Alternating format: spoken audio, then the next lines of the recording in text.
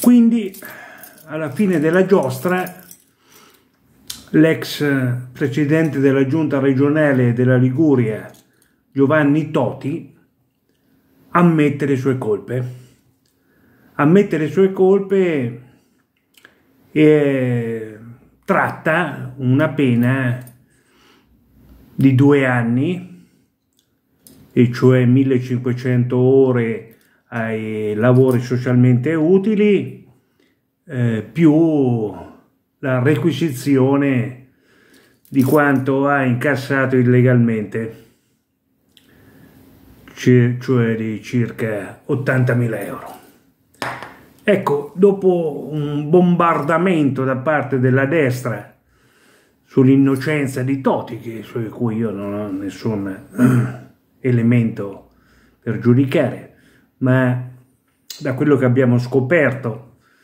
a dire il vero che da sempre sospettavamo, è che la destra ha uno stile di vita e un rapporto con gli affari, con il capitale, con gli interessi privati, eh, che non fanno certamente pensare bene di quegli amministratori che se ne fanno vanto, che ostentano uno stile di vita al di sopra delle loro possibilità, che ostentano confidenze con coloro i quali poi vanno a fare gli appalti. Una situazione per cui gli amici degli amministratori, gli amministratori ricevono doni, vacanze, belle conoscenze, frequentazioni di luoghi che non si potrebbero permettere come amministratori amministratori con onore, amministratori imparziali e amministratori al servizio della loro comunità, sia essa comunale, provinciale, regionale. Dunque l'ex governatore della Liguria ammette le proprie responsabilità e eh, noi pensiamo bene, era ora che finiva questa storia prendiamo atto che un suo fedelissimo, un suo grandissimo alleato,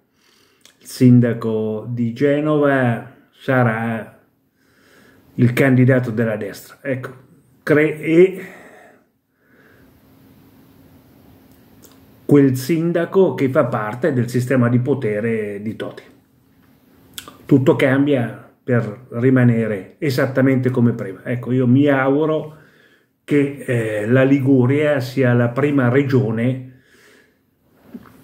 che va al voto, in quanto la prima regione che va al voto con, eh, prima dell'Emilia Romagna, prima dell'Umbria e che, e che cambi, che cambi radicalmente il suo modo di essere, il suo modo di essere amministrata con una nuova, eh, forte, onesta